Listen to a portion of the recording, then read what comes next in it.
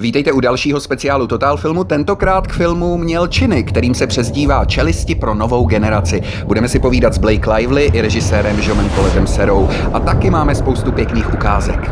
Ještě varování. Kolega, který psal recenzi, říkal, že kdyby film viděl před svojí dovolenou u moře, asi by tam už nevlez. Takže jestli se teprve chystáte, puste si asi něco jiného. A my ostatní pokračujeme. Should come over here. I'm good here, thank you.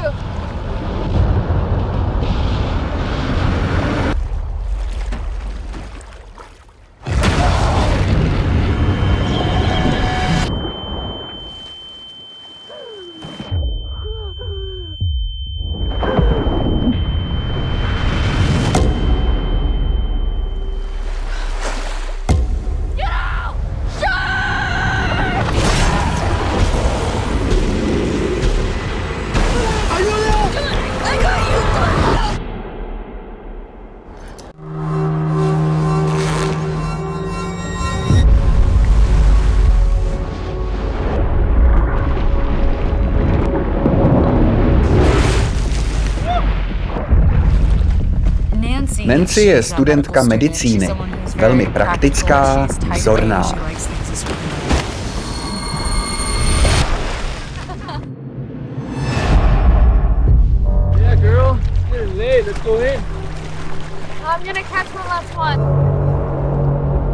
Ten film vypráví o tom, jak čelit strachu. Myslím, že když surfujete, měli byste stále vést v patrnosti, že jste v divočině.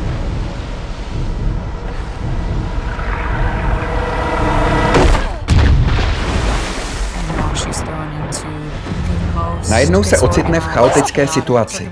Jen si to představte.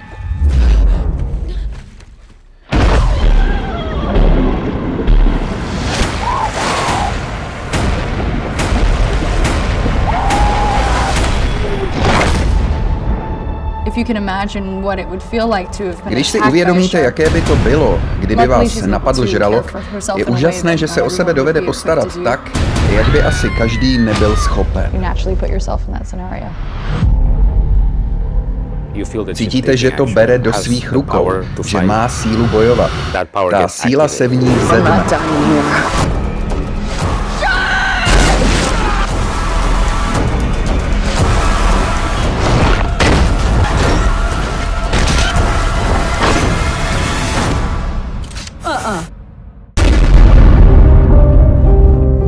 Mělčiny jsou o instinktu.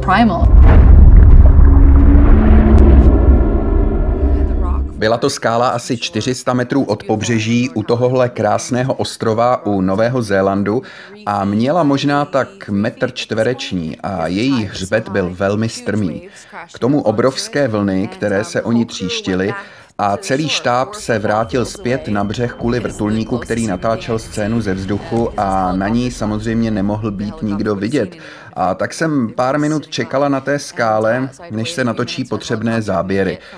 Stojím uprostřed oceánu, ne uprostřed, ale někde už dost na to, abych byla vyděšená, ale ještě dost blízko na to, abych viděla na pobřeží lidi, záchranu. A vím, že kdybych byla ve skutečném ohrožení a viděla kolem sebe plavat velkého bílého žraloka, že bych se nemohla ani pohnout.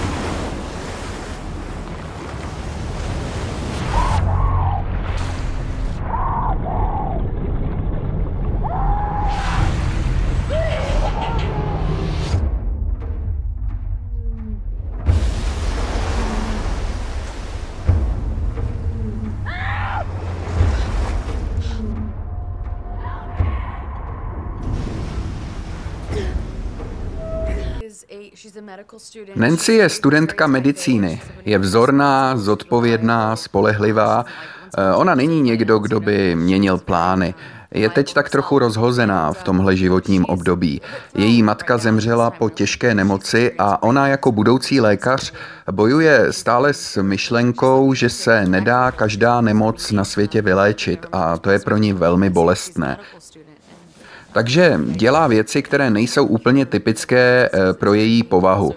Je na téhle pláži v Mexiku, surfuje sama, což všichni surfaři vědí, že není dobré. Chytá vlny za šera, což je další věc, kterou by dělat neměla. Je prostě trošku rozbujelá.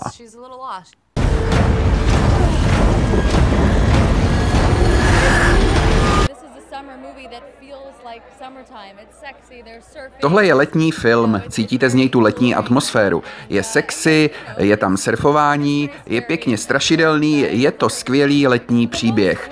Bylo to to nejproměnlivější prostředí, v jaké jsem kdy pracovala, protože tenhle film nebyl náročný jen emocionálně, ale bylo to taky fyzicky náročné. Byla to i atletická výzva. Musela jsem trénovat jako atlet, abych to fyzicky vydržela každý den a byla k tomu ještě schopná i hrát. Bylo to nesmírně citové a obtížné. Je to příběh o někom, kdo jde na hranici svých limitů, zjišťuje, kdo skutečně je a postaví se čelem svému strachu. Pokusil jsem se ten příběh vyprávět velmi živě. Jdete do vody a ta se stane vražednou, mystickou. Je to zápas dvou světů. Voda, živly, počasí, tělesná zdatnost, zvířata, mládež, všechno, co vám kdo kdy říkal, že nemáte používat ve filmu společně. Ale je to zábava, celý tým tvrdě pracoval, scénář je krásný a je to celé báječný letní film.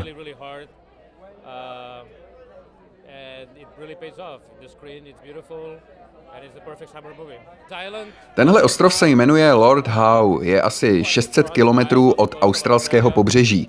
Když jsme to místo objevili, bylo hned jasné, že budeme točit tam. Byla to dokonalá pláž, místo. Logisticky to bylo náročné, ale zapracovali jsme na tom a bylo. Chtěl jsem vyprávět příběh, který bude zábavný, bude diváky zvedat napětím z křesel v kině a nechá je zapomenout na všechny každodenní starosti. Kdybych uměl točit komedie, točím je, jenže já umím dělat filmy plné napětí. A tak je dělám.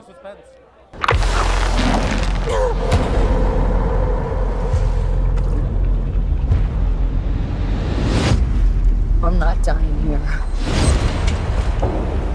30, 40 yards. It takes them 32 seconds.